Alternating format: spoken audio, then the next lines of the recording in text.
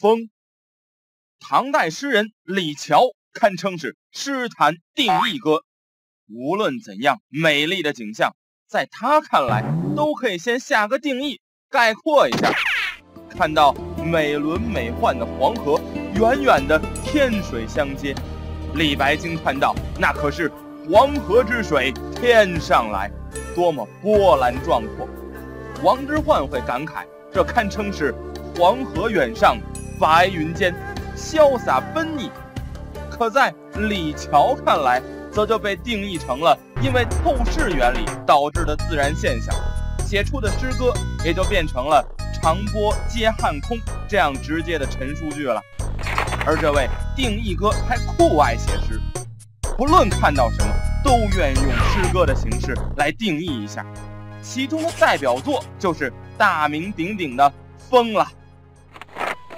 一个秋季的午后，李乔正跟朋友在竹林中饮酒聊天，突然一阵风吹过，旁边的树叶随风缓缓飘落。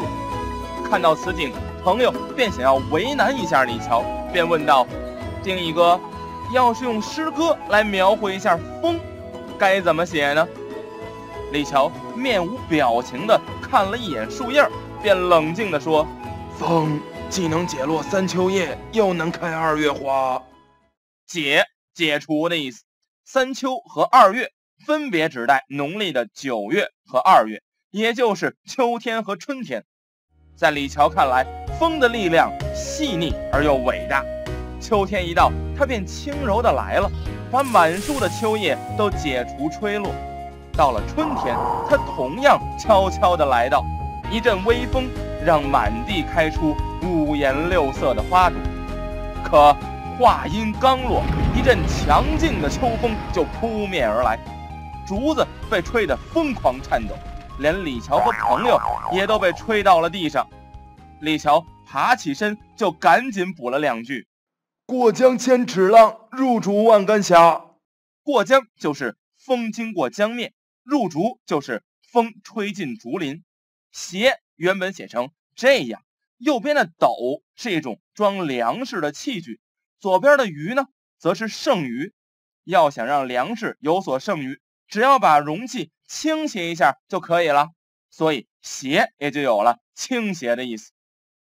若是强风过境，平静的江面也会顿时掀起千尺浪花，挺拔的竹竿霎时也会被吹得摇摆倾斜。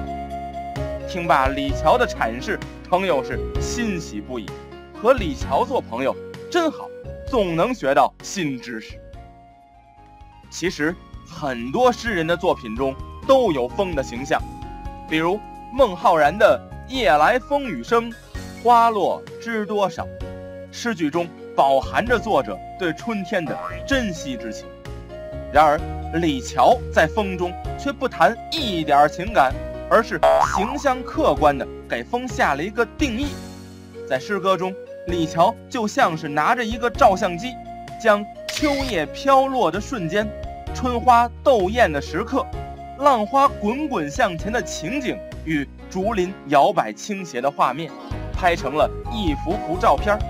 一看到这些照片，便使人瞬间领悟了风的温柔力量。形象客观的表述，加上诗歌的优雅，正是李峤的过人之处啊！